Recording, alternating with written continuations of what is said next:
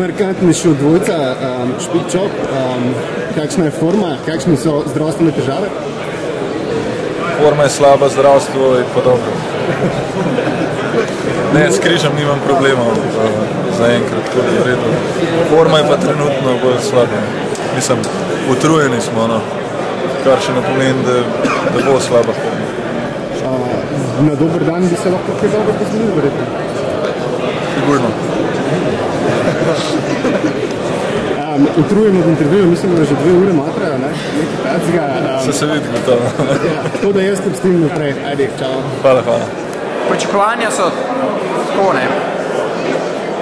Jaz imam toliko težav na treningu, narediti vajo to svojo, ne morem, jo, ne, pretežka mi je. In eh, jaz se, ne samo, da mi je pretežka vaja, jaz se bojim za svoje zdravje, da se bom polomil. In uh, je tok, tok mi je pretežko to. Tista vaja moja iz evropskega, sem imel tako lepo elegantno evropski prvak, je skoraj definitivno prelahka za se uvrstiti v finale, kaj šele za razmišljati o kolajna. Tako da bom verjetno mogel že sam na štartu tvegati za meni pretežko vajo, ki pa kljub samo, da je meni pretežka, je še zmeraj precej lažje od konkurentov Aznica. Tako da razmišljati čim več kot mogoče v finalu je nerealistično in je škoda, bi si bil s tem razbijati glavo. So domačini absolutni favoriti letos? Na Bradley, ja. Na Bradley. In pa ekipno, definitivno. Ne? Na Bradley ekipno, pa še na kjerem urodju. Niso pa na vseh urodjih dobri. Ne? Na Bradley je pa njihovo, so doma rojeni. Letijo sem, tja, tako, kot ptički. Mi, evropejci, večinoma pa taki počasni nam ne gre, tako da zelo zoprno. No? Ampak kako je življenje? Oni trenirajo, kaj druga, kako drugače percipirajo samo atletiko, da so recimo... Um, načeloma normalno.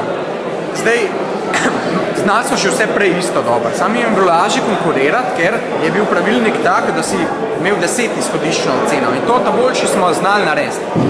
In smo konkurirali samo, kdo bo lepši naredil. To mi je šlo. Um, zdaj ponovno je pa tako, da so se da se je odprli na vzgor, da več kot narediš boljši si.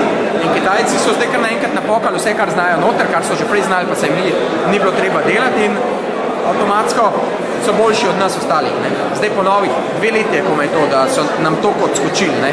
po novih pravilih.